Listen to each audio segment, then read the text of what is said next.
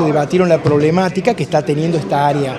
Eh, sobre todo tiene que ver con el desmantelamiento de esta área de apoyo a la agricultura familiar, eh, a tal punto que por la falta de financiamiento había renunciado el secretario de Agricultura Familiar y habían eh, junto con él renunciado nueve secretarios.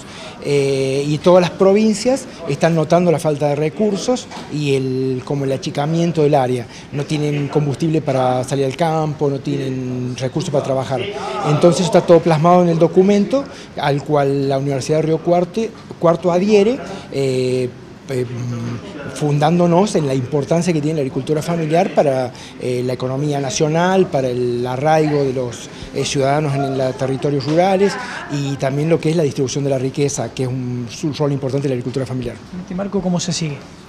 Eh, no, bueno, son, esto tiene una cuestión de, declaración, eh, pero hay toda una lucha a nivel nacional eh, de organizaciones de productores y de los propios trabajadores de la agricultura familiar que siguen reclamando y siguen exigiendo un presupuesto acorde con las necesidades del sector.